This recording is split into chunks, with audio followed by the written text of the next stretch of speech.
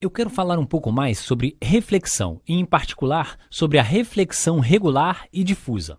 E para começar, eu quero fazer uma pequena correção no último vídeo. Na verdade, é uma correção bem interessante, pois nessa imagem aqui, quando eu falei sobre uma reflexão dupla, eu falei sobre a luz do sol que atingia esse lago e o reflexo regular saindo da superfície desse lago, e então refletindo na superfície desse remo para chegar aos nossos olhos.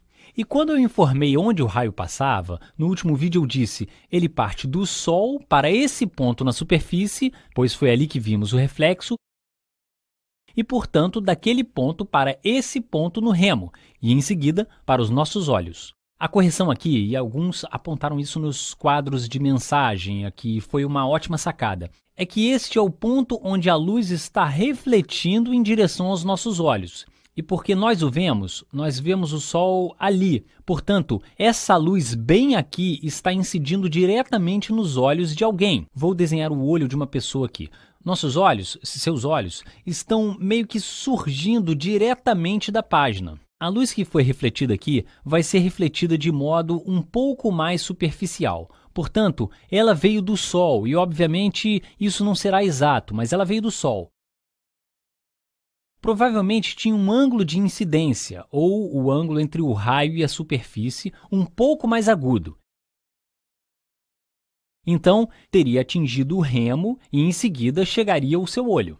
Agora, eu quero esclarecer que nós não enxergamos o Sol no ponto em que foi refletido, porque aquela luz, a imagem do Sol, está sendo projetada no remo e daí chega aos seus olhos. O ponto em que vemos o reflexo do Sol, aquela luz, vem diretamente ao seu olho, não precisaria ser refletida pelo remo. Portanto, essa é uma boa e interessante sacada quando vocês pensam sobre reflexão dupla. Outra coisa que eu queria comentar com vocês é quando vocês têm ambas as reflexões, regular e difusa, ocorrendo ao mesmo tempo.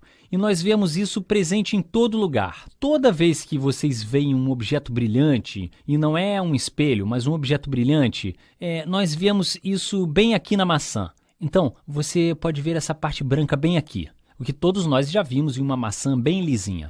E isso na realidade é o reflexo da fonte de luz real, onde todo o restante tem somente a cor da maçã. Então, vamos pensar sobre o que está ocorrendo aqui. Então, se eu fosse desenhar a superfície da maçã, vou desenhá-la em uma cor neutra. Então, nós temos a superfície da maçã bem aqui. E talvez eu a desenhe como um leve círculo, só para vocês visualizarem que isto é uma maçã circular. Vocês têm uma fonte de luz. Então, vocês têm uma fonte de luz aqui. Portanto, ela está emitindo luz em alguma direção sobre a superfície da maçã. E o que está acontecendo na superfície da maçã? Duas coisas estão ocorrendo. Uma parte da luz está refletindo de forma regular, ou outra forma de considerar isso é que ele está mantendo sua imagem, parte dela, mas não toda. Então eu vou desenhá-la. Então, se vocês estiverem chegando com esse ângulo de incidência, vocês vão partir com aquele ângulo de reflexão. E vocês chegaram com aquele ângulo de incidência e vão partir com aquele ângulo de reflexão. Eu estou fazendo linhas pontilhadas para demonstrar que não é toda a luz que está sendo refletida daquele modo. Apenas um pouco da luz obtém aquela reflexão regular. Se uma parte dessa luz fosse atingir o seu olho, vou desenhar um rosto adequado. Então, digamos que isso aqui é o rosto de uma pessoa. Aquelas são suas orelhas, os seus cabelos, aquilo são suas sobrancelhas, aquilo é o bigode dela. Então, essa pessoa verá uma versão razoavelmente boa da fonte de luz, o que nós vemos aqui. Mas o que está acontecendo com o resto da maçã, ou até mesmo aqui, é que um pouco dessa luz está refletindo de modo regular, está, de certa forma, mantendo a imagem da luz. Um pouco disso também está ficando um pouquinho distorcido, mas o restante da luz, e eu vou ser claro aqui, uma parte dela está sendo absorvida pela superfície da maçã, mas o restante dela está refletindo a luz vermelha. O que nós vemos é o que a maçã não absorve, o que a maçã está refletindo. Ela absorve tudo exceto aquela luz vermelha. E vejam, há um monte de sombras diferentes aqui. Está refletindo de modo difuso. Então, a luz pura incide aqui. Uma parte daquela luz pura é refletida de forma regular, ou simplesmente mantendo a imagem. E uma parte dela, pelo fato de a superfície da maçã não ser perfeitamente lisa, está seguindo em todas as direções. Uma parte está se propagando assim, outra assim, outra está se propagando desse jeito. E isso está ocorrendo em cada ponto da maçã.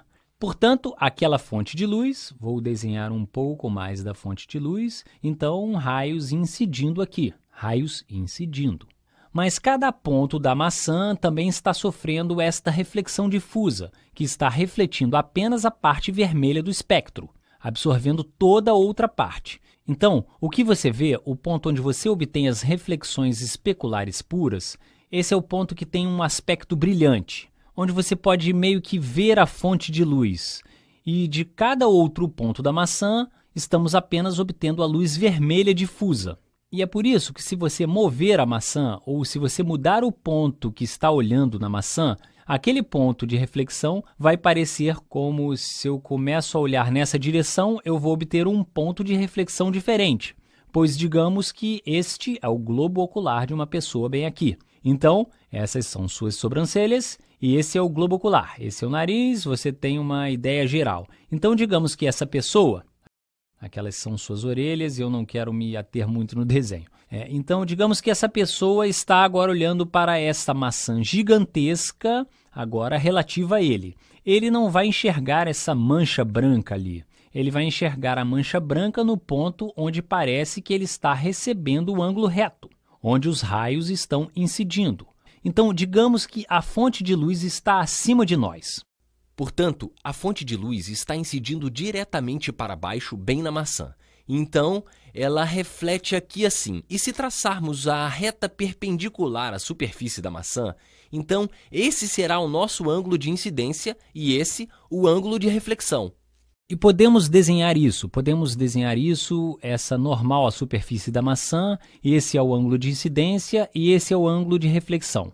Portanto, naqueles pontos, naquele ponto bem ali, ele está recebendo um pouco da reflexão regular. Mas se todos os outros pontos da maçã, então aqui, a reflexão regular ocorreria desse jeito, mas em direção aos olhos dele, ou seguiria para lá, e não em direção aos olhos dele. Mas vocês também têm um pouco das reflexões difusas daquele ponto. Uma parte daquilo vai em direção aos olhos dele no que diz respeito à luz vermelha. A parte vermelha da frequência está chegando aos olhos dele a partir de todas essas outras reflexões aleatórias. Ele enxergaria esse reflexo mais ou menos aqui, e toda essa outra parte da maçã iria parecer vermelha.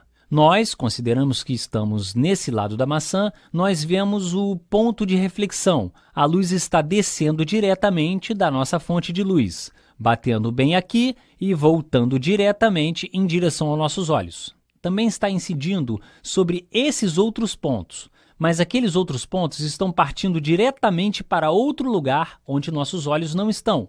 E, em vez disso, estamos apenas enxergando a parte difusa que está efetivamente chegando aos nossos olhos. Enfim, eu espero que isso tenha preenchido algumas lacunas do vídeo anterior.